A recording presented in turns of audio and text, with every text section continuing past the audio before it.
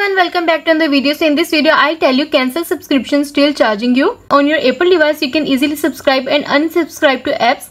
Once you cancel your subscription you will no longer be charged in future billing cycles preventing any additional cost. In most cases you will retain access to the subscription benefits until the end of the current billing period. In this video i'll tell you how to fix cancel subscription still charging you. First subscribe to my channel for more upcoming videos and hit the like button. So let's start the video without wasting any time. For this, open settings on your iPhone.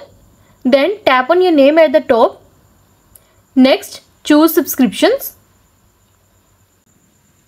Sections for active and inactive subscriptions being listed under active does not necessarily mean it has not been cancelled. Even cancelled subscription remain active until the end of the current billing period. Tap the app to see more details.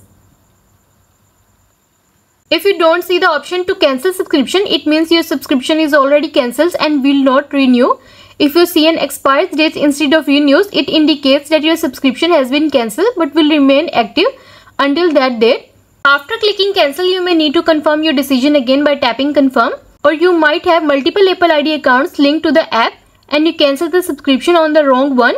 Check all the possible accounts for your active subscription. If you cancelled near the end of billing cycle, the charges might be for the previous cycle, not the upcoming one. And you are done. I hope this video will help you to fix cancel subscription still charging you. And also let us know in the comments below if you have any questions. Thanks for watching. See you in the next video.